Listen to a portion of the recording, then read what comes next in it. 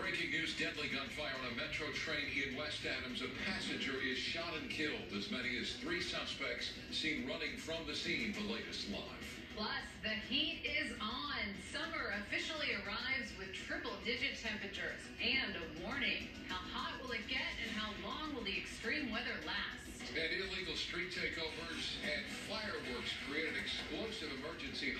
Hundreds turn out for these screeching sign shows and more are expected this weekend. Now on the news at 10.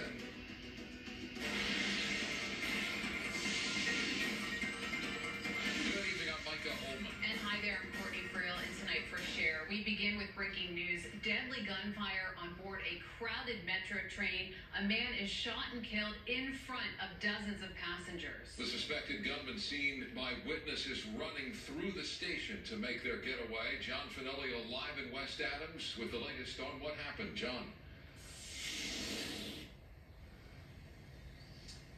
So we're stretching across Southern California. Did we just lose? What happened? Though is that at least the one window